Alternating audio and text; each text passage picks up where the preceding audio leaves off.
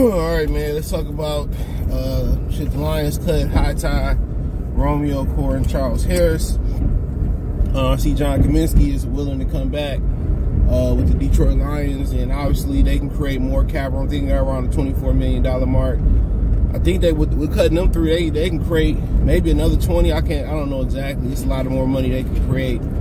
Um, seeing that the Chicago Bears are um,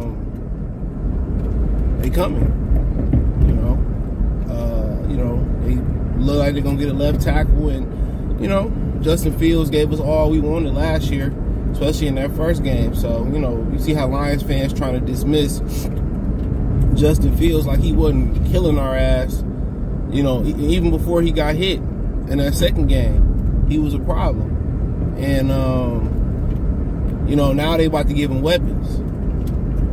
You know, and, and that's up to him. You know, like I said, you can throw a lot of stuff in the pot in the NFL and it not taste right. So just because you got a bunch of money and you can put it all into, you know, your team, it don't mean that the team is going to be successful. You look at the Washington football team, look at the Philadelphia Eagles super the dream team, and all that stuff. But um, you know, a lot of people, you know, think it's a foregone conclusion. The Lions is the next best team in the NFC North. Especially you see the Eagles. I mean, you see the Vikings uh, losing a lot of defensive players. Darius Smith want to be gone. You see the drama they held with Danielle Hunter, cut Eric Kendrick. You wonder what's going to happen with Harrison Smith you know, Adam Thielen being gone, so they seem to be going in a, you know, the new regime probably saying, man, this is far as these guys can take me. But, you know, Lions need to make make moves. You know? Need to make some some some some bold move if they want to be the next team up. Now if they want to just continue to take their time building this franchise, then okay, you know, cool.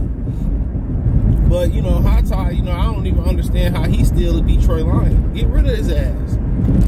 He been a disappointment. It was so much a disappointment they kicked him to uh to right guard, right tackle. You know, so you know, in my humble opinion, I'm just gonna move him to out of there. You can, you guys, you could draft a, a young guard in the middle in the middle rounds. You know, and if he ain't ready, you got Evan Brown, you know, Matt Nelson, you got a couple candidates that you can go out there and throw out there. So it just don't make no sense to continue to spend the money on him. And he ain't been he ain't really been healthy, and when he been playing, he ain't been outstanding. So I, that's why I, I, don't understand the science behind that one. And then you talk about Romeo Okwara, you know, struggle standing up in the eye front, came back this year, couldn't expect much from him this year. You know, but at the end of the end of the day, you know, you might be in a position to draft another edge rusher cut them, save some money, you know, uh, and go out there and put it back into the team. It makes no sense. You know, you got a thousand defensive linemen, like, you know, linemen. And you don't know if he ever going to return back to the form that he once was. You know, and the answer was, do you pay him or Kenny Golladay? No, you don't pay none of them. You don't pay neither one of them.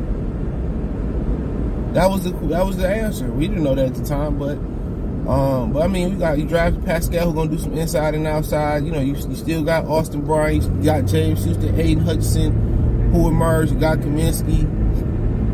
You know, you might be in position to add a Will Anderson and Tyree Wilson. You know, to me, it kind of becomes a no-brainer. Even if you cut them and you know you want to add a Khalil Mack and see what Khalil Mack, if you can get Khalil Mack, maybe. Maybe you need a little veteran presence up there to help lead that, that to lead that front seven.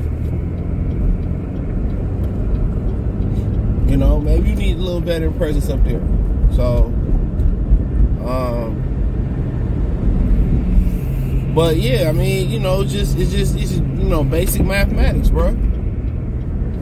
When you start to look at you know kind of guys they don't need and, and can go cheaper in those positions. Charles Harris just explained it. I mean, really don't need them no more. You know, go with the, go with a little bit the youth movement, add some veterans some other places, so they can create a lot more cap space than they got to, to kind of offset what Chicago about to do, and to kind of you know preserve and upgrade what they need, what they doing, and what they need to do. You know, you just, you know, you just be looking and you just like, man, you just don't be trusting the Lions, bro. And it ain't a, it ain't per se a Holmes, Campbell thing, a Quinn Trisha thing, a Mayhew Lewand thing, a Matt Millen thing. It's just an organizational thing, and it's so funny how people quick to jump out there and just show support for the Lions, you know, after saying, you know, they going one and six and people jumping off the bandwagon saying get rid of Jared Goff and fire Dan Campbell. You gotta remember, I was the one that said, oh no, don't fire Dan Campbell. You can look up the videos. I told y'all from the beginning to brace yourself for y'all expectations to be let down. And I said, you know, they wasn't healthy and they got healthy and they started to do something. But it just lets you know how thirsty Detroit is for a winner because people starting to pop champagne before they even, you know, do anything. People saying we was gonna roll over the Carolina Panthers. I said, up, oh, not so fast. And I was right. Then y'all get mad at the Seattle uh, uh, LA game. You know, I mean, all you had to do was, you know, win more games. And everybody gonna put the Lions on the pedestal too early And you know what happened. You know what happened. You know when you start counting your chickens before they hatch. They gonna do the same SOL thing. I, I, I, you know, tell people just to wait and see. Just wait and see. They don't deserve the benefit of the doubt.